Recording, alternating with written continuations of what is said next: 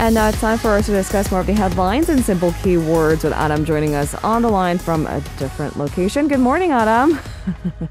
Good morning, Lena. I'm at a relevance, uh, Uh. relevant, a, uh, a relative's place at the moment. So yes, it is a different. If I can speak properly, uh, yeah, I'm at a different location today. That Just for today, though. Just for today. Well, it is kind of the long weekend for majority of our listeners, I believe. Yeah, so uh, it is my only schedule for today. So Hmm. I thought I might take the opportunity to spice things up a little bit with a different background. Thank you for joining us, Adam, on this special occasion with a rather special background. All right, uh, let's jump into our keyword news portion of the day. We're going to try to clarify some of these major headlines for our listeners, and this is our first pick of the day. Overseas trip. The presidential office has assessed President Yoon's recent overseas trip. Clearly, they want to sidestep away from the hot mic moment and talk about, well, diplomacy. What did uh, they have to say? It certainly was. It basically means that uh, the presidential office kind of deems the overseas trip as kind of a success uh, and trying to kind of sidestep, as you say, those criticisms that surround that trip. Uh, spokesperson Kimona said that various efforts are being made uh, to overcome the fallout from the US Inflation Reduction Act. That's where a lot of attention was paid to if uh, there was any going to be a, a solution to that issue when Yoon did visit uh, Britain, uh, the US, and Canada. What you see the comments is trying to, of course, defend criticism surrounding Yoon's uh, trip. It is also being seen as a way to divert attention away from, as you mentioned, Yoon's hot mic uh, moment, which is uh, taking a lot of uh, the attention from uh, the actual key focus of the trip, rather, and is becoming kind of a political uh, sticking point at the moment. Uh, Kim said that the IRA issue was discussed with Joe Biden and Kamala Harris, and that they both understood Korea's concerns. She added that relevant talks are also uh, underway, and she also noted that an IRA revision proposal has also been submitted to Congress to allow certain tax benefits. Whether that will uh, come into fruition remains to be seen. But basically, she's saying that's one of the kind of the outcomes of what uh, she deems as kind of a successful negotiations with those top uh, leaders and officials.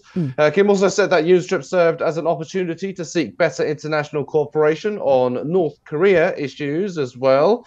And she also noted that a currency swap deal was being positively looked into by both Seoul and Washington. This, of course, comes amid this volatile uh, foreign exchange uh, market, the weakening one as well. There's been calls for such deals to take place. Nothing has been signed as of yet, but the presidential office uh, seems that uh, Seoul and Washington are kind of heading in the right direction in that uh, in terms of that deal. Um, overall, the top office believes the president's trip was a success, uh, and uh, weighing in that, so Foreign Minister Park Jin has also refuted criticism that Yoon's trip was what critics have been calling a diplomatic fiasco. So there's been quite a lot of uh, mudslinging between the ruling and opposition parties regarding the overseas trip. And of course, the presidential office and the ruling party are basically busy to try and defend uh, from those criticisms. All right, we'll leave it there for now as we move on to our second keyword of the day.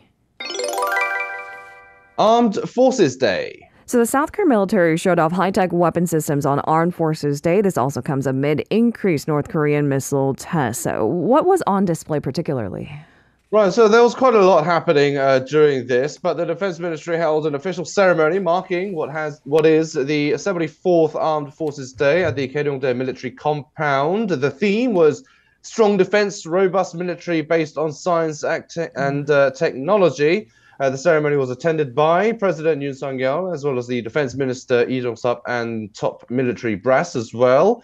It was an opportunity for South Korea's military to kind of show off state-of-the-art weapons systems, such as the Chunmoo uh, multiple rocket launchers, Army tactical missile systems, surface-to-surface ballistic missiles, and the Hyunmoo 2 and Hyunmoo 3 missiles, which are part of the uh, what's known as the kill chain system. Uh, in the troop formations on the ground were elite forces of the at the vanguard of the Yoon administration's defense reform 4.0 initiative, designed to make the military stronger and smarter based on uh, technologies such as AI. Uh, key weapon systems mobilized for the ceremony kind of highlighted Seoul's push to beef up its so called three axis system which is basically aimed at countering Pyongyang's weapons threats. Mm. Also on display were surveillance assets such as anti-artillery radar systems and unmanned aerial vehicles, drones, in other words, mm-hmm. as well as PAC-2 and PAC-3 interception systems, uh, K2 Black Panther battle tanks, as well as K9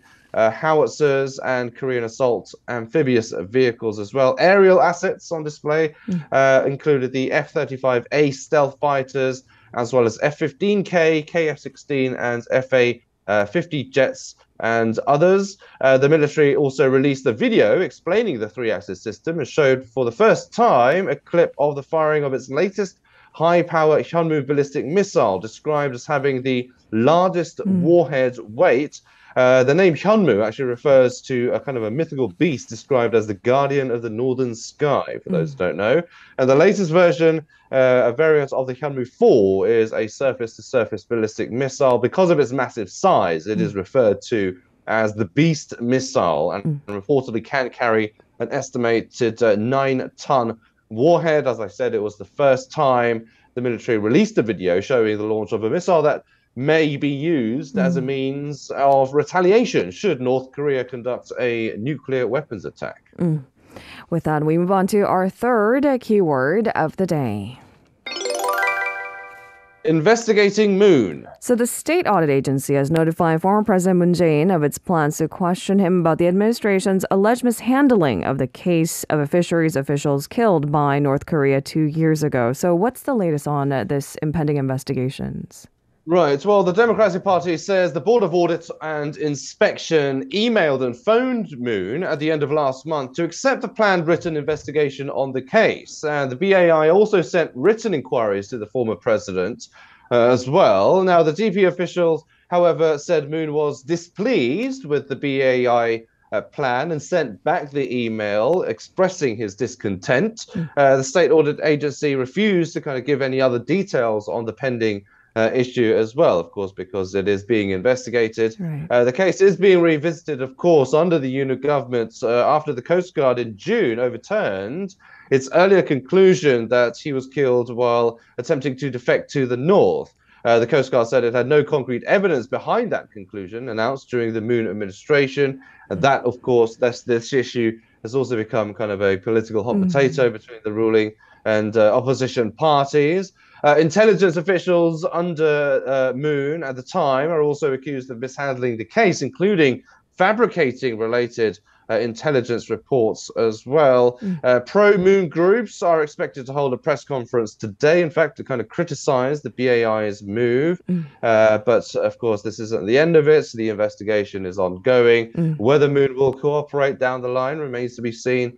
We'll have to keep our eyes open. All right, let's move on to our fourth keyword of the day.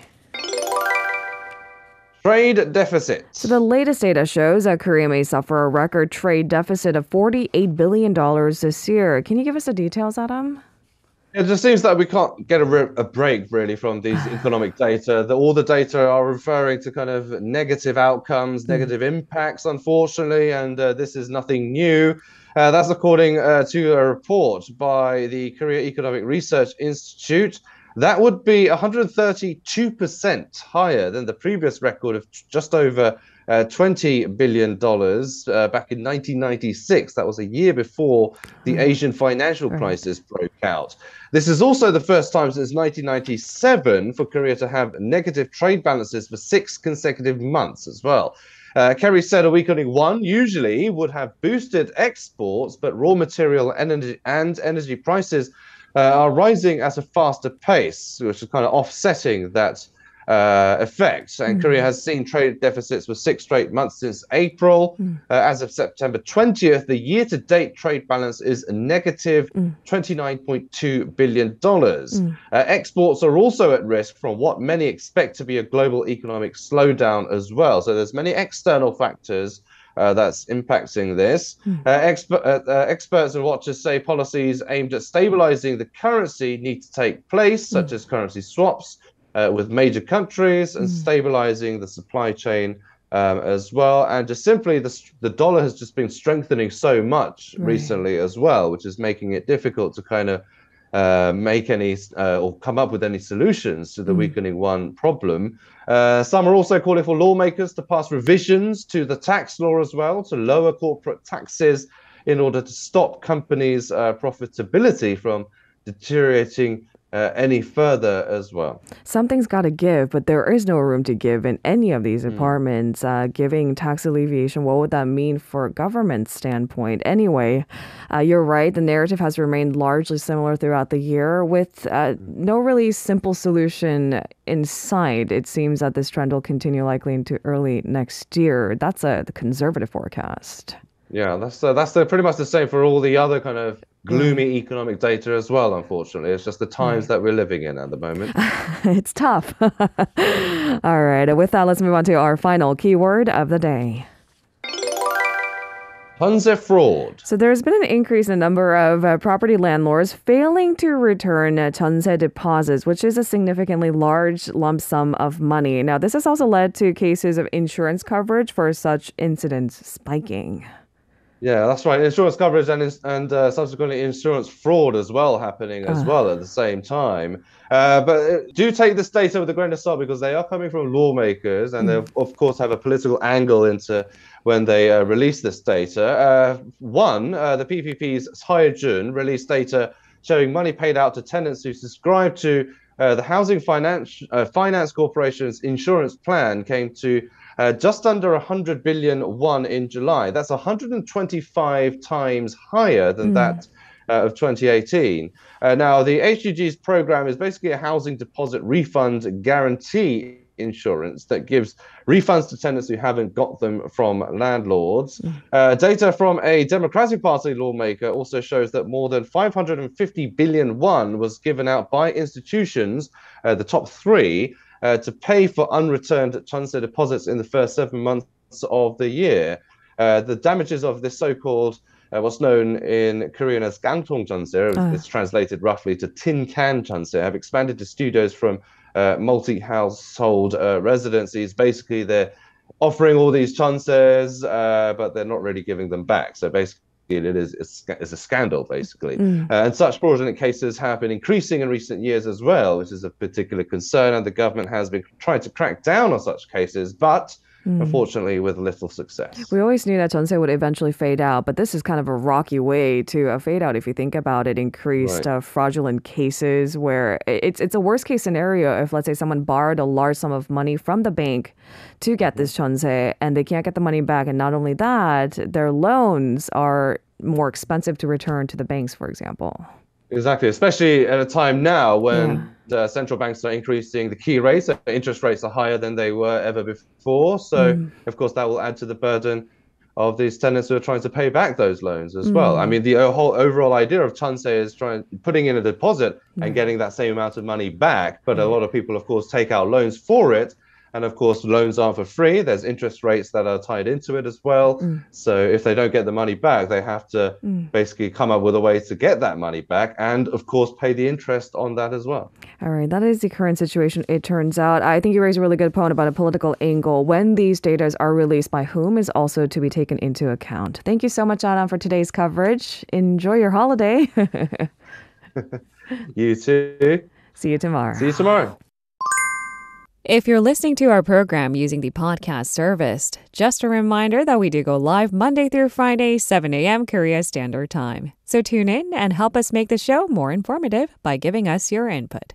See you bright and early on Good Morning Seoul.